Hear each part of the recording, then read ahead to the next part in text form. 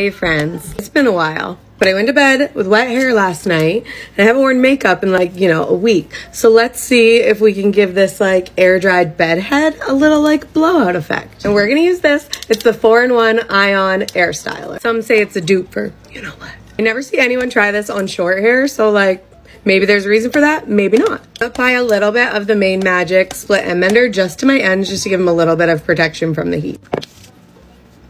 Let's do it click. Guys, I'm obviously tired. I just tried to clip it to the vent, so that's why it didn't work. Clip it to the right side. Clips right in. Perfect, maybe. There. Hair is obviously dry, so it's gonna blow everywhere. Rather, like if your hair was wet and you did this, it would like stick right to the barrel. I like it. Look how like bouncy this side is compared to this side. now we're just gonna do the same thing up the whole entire head until we get to the top. This side done. Now for the top.